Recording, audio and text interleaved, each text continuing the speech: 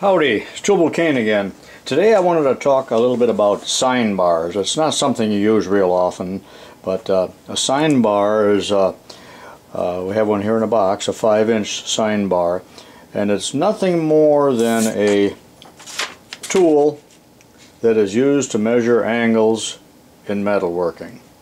Now you can measure incredibly accurate with uh, a sine bar, so much more so than with uh, common protractors that you see around the machine shop. And I even someplace around here I've got one of those Brown and Sharpe protractors that'll measure uh, down to a, a, minute.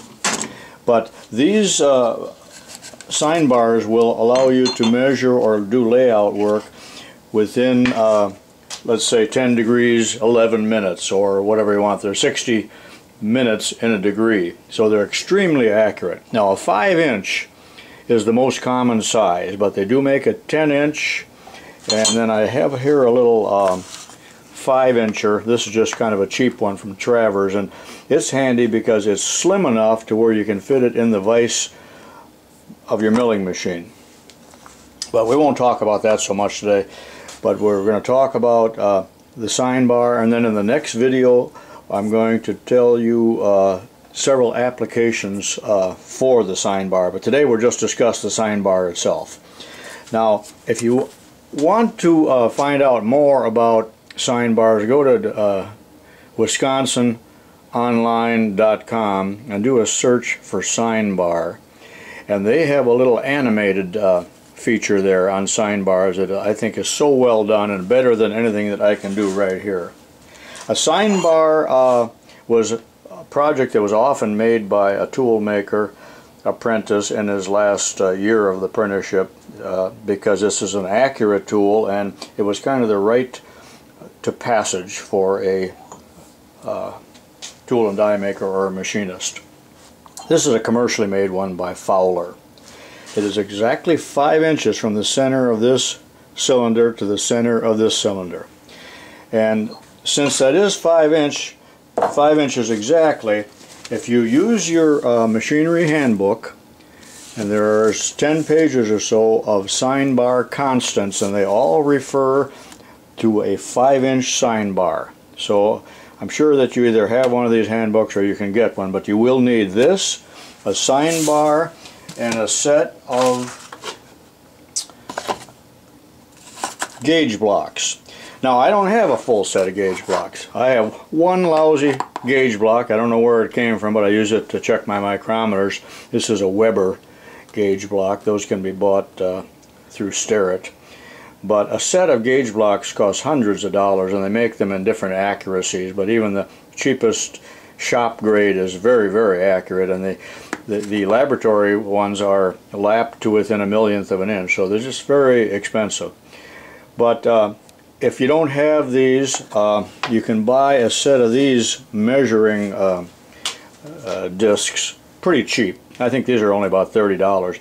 And a combination of these stacked together will give you just about any possible uh, thickness measurement that you would want or that you would find in that machinery handbook. So you will need uh, these or gauge blocks in conjunction with the sine bar. And here's the reason why. We take a sine bar. Now this is on a granite uh, surface plate, so you need to do this on a very accurate surface, not just a wooden bench. But if you put, uh, this is one inch, if we put the one inch under there like that, uh, and we look it up here, we will find uh, the exact uh, angle that it is setting at.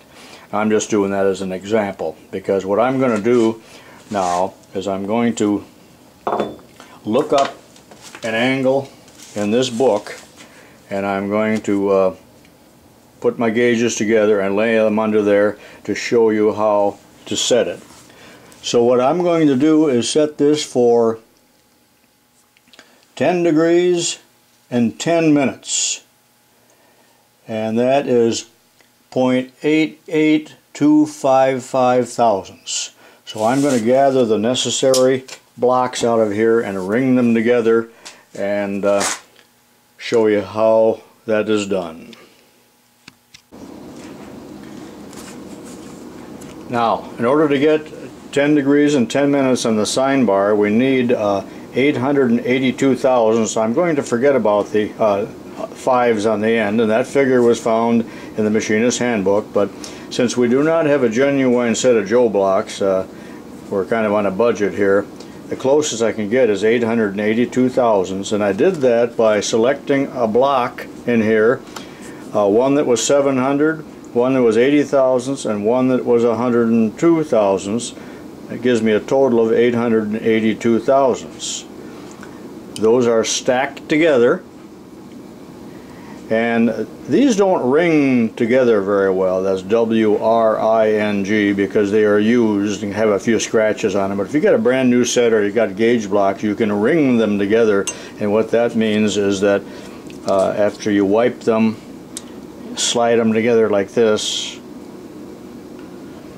uh, they should stick together and I can't get them to do it because they are too old. So instead, these are threaded holes. I've got them uh, screwed together with a set screw that's supplied in this kit. And then if we were to measure them, does that show up? See we got 882 thousandths. Depending on how, how tightly I move the calipers. So we know that this is accurate. If you don't have a set of these, you could actually machine something or grind uh, a piece of stock to whatever size you, you wanted uh, very accurately. It would serve the same purpose. And doing this on a, a surface plate now, wipe everything clean, and when we lay the uh, sine bar on the blocks, we know that this angle now is 10 degrees and 10 minutes. Now, since we dropped the 5.5 over there, that might throw us off a few seconds, but we are pretty darn close to being 10 degrees 10 minutes. That's so much more accurate than using a protractor if you're doing something that really matters. Now, a lot of times it does not matter. Now, that could be repeated by, uh, and you can find any angle you want. There's several pages of these, and it tells you how much your blocks need to be. Now I didn't uh, mention anything about trigonometry, but this is all about trigonometry and a sine is a function of trigonometry. If you've had that, you will understand some of this, and I'm not going to go into that because I'm not that sharp on trig myself. It's many years since I've had trig, but this is all about triangles, which trigonometry is triangles, the uh, study of triangles. And the top part here is the hypotenuse, and then we've got uh, the right angle down here. And uh, we're just ch uh, ch changing uh, the angle by stacking these up. And that's all I'm going to say about the math. I'm not too good at that but if you look on that website you're going to find out uh, a lot more about that. But this is what a sine bar is. And uh, then this could be put right in your milling machine vise and a, and a piece of material laid on there if you were going to uh, mill it or it could be uh, used on the bench here for uh, measurement or layout or inspection. So don't let the word sine bar scare you. You can get these fairly cheap now. Of course they're all made in China but they're still plenty accurate. They are hardened and they are ground and precision made. Usually come in some kind of fitted case. Hope this was helpful uh, if you're interested in uh, sine bars at all and uh, go to that website. Now watch the next uh, video and I'm going to show you a couple things that we can do with the sine bar including setting the head on the Bridgeport and we'll use that spindle square that I showed you a few videos back and uh, set the head for, for uh, an angle. These also can be used on the lathe to set the compound or the uh, tailstock offset. This is Tubal Cain saying so long for now. I'm going to show you an alternate way of calculating uh, the amount of rise that you need on these blocks if you do not have a machinery handbook. If you do not have this book with all the tables, we can do it uh, mathematically. However, you will need this little book of uh, trig tables that most machinists have and there still isn't really any math involved. All you will do is uh, we're going to calculate it for 12 and a half degrees, so find which is 12 degrees 30 minutes. We're on page, uh, the page that shows 12 degrees, and then uh, 30 minutes is halfway down here, and we've got columns here, sine, cosine, tangent, and so on. We're not interested in any of them except the very first column, which is the sine. So go on down to 30, and it is 0.216 and change. So that is the number we want, and it's that simple, and then we multiply that times the length of the bar. And we've got two different bars here. We've got a 5 inch bar and we got this little 3 inch bar. I think I called this uh, something else before, but it's this is a 3 inch bar. And in order to get the 12 and a half degrees, which is 12 degrees 30 minutes, we find we just found the sine of 12 degrees 30 minutes, which is this. And for a 5 inch bar, multiply it times 5 and you come out with 1.082. That is how much uh, how many spacers I have stacked here for that. 1.082. For the 3 inch bar, it's uh, 3 times the sine, which is 649, and I have stacked these uh, little spacers to 649. So both of these are going to be set for 12 and a half degrees. When I set the sine bar on that, that's 12 and a half degrees. That's the 5 inch bar.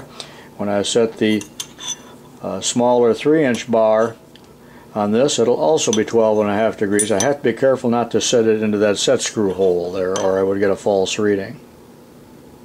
So both of those sine bars are set for 12 and a half degrees in that manner without using the big table book but I guess you do have to use the small table book.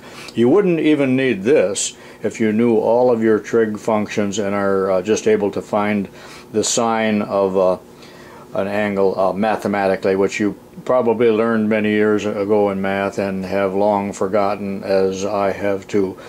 And all machinists use these tables here. They don't uh, do a whole lot of math. Hope that was helpful.